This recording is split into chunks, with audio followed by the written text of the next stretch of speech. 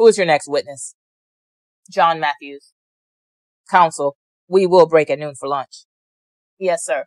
My direct won't take long. Please raise your right hand. Please have a seat. State your name and spell it for the record, please, sir.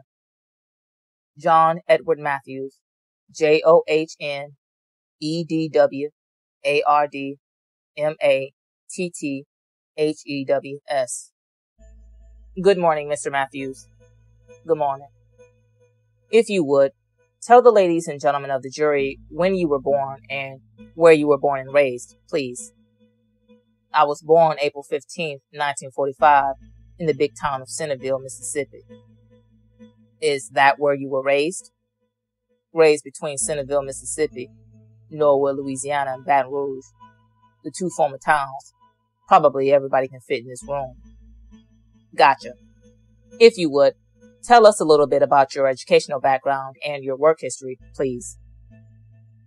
I am graduate of Southern University School of Engineering, finished in electronics. I worked in the computer industry for 25 years in repair of mainframes and peripherals. I was drafted into the military in 69. I went through basic and advanced infantry, finished both. We shipped to Alabama Redstone Arsenal to repair our test equipment and calibrate the missile systems over at Huntsville. After getting out of the military, what kind of work did you do? After leaving the military, I went back, hired on with Control Data Corporation in the computer industry. Stayed in Minneapolis for a while, getting over my PTSD and relearning the computer business. Transferred back to Houston. Worked at NASA for a period. Then I transferred to New Orleans. When you were in New Orleans, did you also start to open up or do some side business for yourself? Yes, I did. When I moved home, I always had the idea of being an entrepreneur. And when I was in Vietnam, my captain tapped me to open a lounge for the enlisted men. So he gave me all of the necessary items to open a liquor facility and the game room, and also taught the mathematics portion of the GED exam in that same building he gave me. And so when I left and came back to the United States and looking for a business to get into, I gravitated toward the liquor business. At some point, did you open a bar room or a daiquiri shop in the uptown area of New Orleans? Yes, I did. In 1977, I rented a place at 3400 South Claiborne, which was just a shell. And I did most of the work and opened a liquor store. And I rented out the space that I had for a daiquiri shop. And a gentleman left me and he gave me three daiquiri machines for the rent and told me to sue him if I wanted to. So I couldn't sue him. I didn't have enough money to sue him. So I tried to sell the daiquiri shop and they wanted to buy the liquor store. The people wanted to buy the liquor store. So I sold the liquor store and went into the daiquiri business in 91, 92. The building at the corner of Louisiana and Claiborne, is that the 3400 block that you were just referring to? That is 3400 South Claiborne. At some point, did you stop becoming a tenant and actually purchase that property? I purchased the property somewhere around, I don't know, 84, I guess. And did you develop it and have some tenants? And I think in 84, I only had two buildings. That was where the restaurant is and the daiquiri shop. Well, actually, the old liquor store. I think it's a communication shop now. And the daiquiri shop. Actually, let's change that. Where the restaurant and the communication shop is now, that was the building. So later on, I made a loan, $115,000, I think it was. and made the building look as it does today. I did all of the construction there. I'm going to show you a photograph marked as Government's Exhibit 177. Is this the property? This is the property, yes. Does that picture accurately reflect how it looks? Yes, sir. Your Honor, I would ask to introduce and publish 177. So ordered. That's the photograph, Mr. Matthews, up on the screen? Yes, sir, that's it. When you bought when you redeveloped the property, did you take undertake efforts with regards to lighting and security of the property? Yes, sir. As a matter of fact, I had security cameras many years before I improved the business. As a matter of fact, my cameras were used in several other shootings. But later on, I added new and additional more effective camera systems four cameras on the inside, two on the outside that watch the whole property and beyond. What about lighting? Did you put any, add any additional lighting to the property in the area? Yes, I did. What did you do? I added right by where the, where you can see the Money Mart. If you come straight out to the street, there's an energy line and I had two lamps put up there, one 10,000 watt and one 4,000. I mean, 400 and I think a 10,000 watt. The 10,000 watt was pointing to the right and the 400 was pointing to the left. And on top of this Money Mart sign right here on the corner, I had two other lights, one pointing down Louisiana Avenue and the other one pointing towards the other light covering the whole lot. And right across the street, the city has had two lamps that illuminated the area. Thank you. At some point, I understood that when your tenant who had the daiquiri shop left your building, did I understand you that you undertook to operate a daiquiri shop at that location? Yes, sir. Was it just a place that sold daiquiris or was it more than that?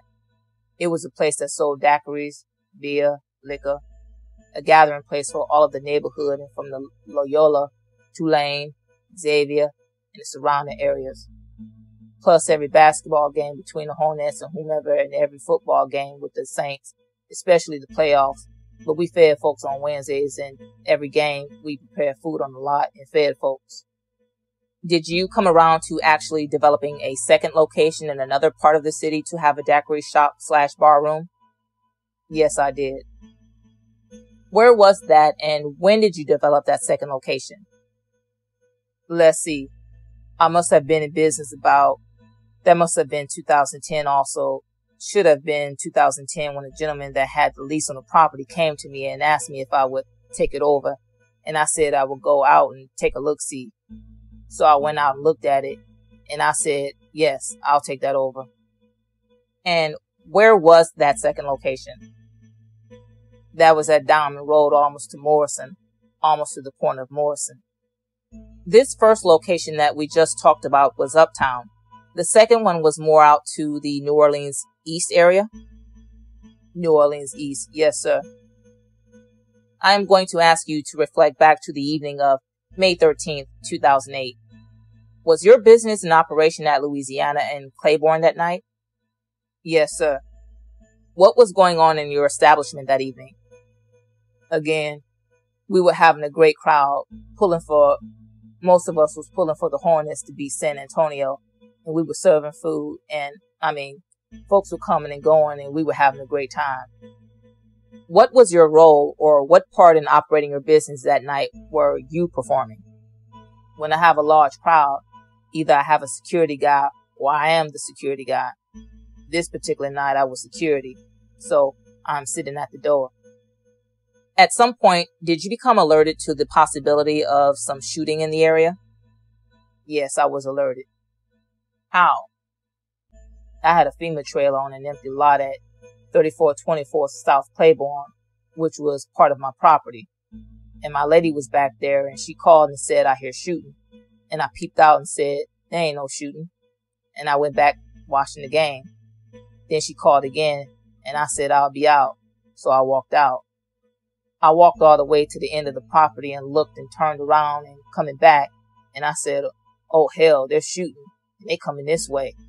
And I ran back inside of my place and locked the door. And I don't know if I had pulled the pistol or I just had my hand on it and I was standing in the door. So you retreated back to the interior of your establishment? That is correct. Explain, if you would, to the ladies and gentlemen of the jury, how your door is constructed and what abilities it gives you to see outside. Okay. My door is basically a metal frame building made of angle iron with bars on it. And I used, I think, about a quarter inch plexiglass, which is a fabric that's supposed to repel small arms. And I had that covering the area and made the, gave me the ability to see from it and for my customers when coming in to see in and yet give us a bit of security. After you retreated back inside, did you remain by the door to see what would happen outside? I remained by the door because when I was making haste to get back inside, I heard a car squealing the tires. The tires were squealing. And what I thought had happened was that somebody had got caught in the crossfire and steered swiftly and turned the car over. So I was trying to find a car that I thought had turned over. Did you see a car that turned over? No car. In the moments after that, did you see any action or activity in the vicinity of the parking lot of your establishment? Yes. I could see a head over near that same pole that I was just telling you about the lights were connected to, going both directions. And there was a head bent over, sort of like that. And I could hear gunshots, maybe five shots, four or five shots. If you're looking out of your front door, are there any landmarks in your parking lot where this person that you saw the top of their head with their head down when you were hearing the shots, where were they located? Yeah, it was right in front of that pole, right in front of the check cashing sort of facing that area. Did that person come closer into view to your position at some point? Well, yes, he did. How? Instead of going to his right, he came to the left, which made him come across in front of the daiquiri shop with all of the light shining down on him. So I did get a good look at him coming that way.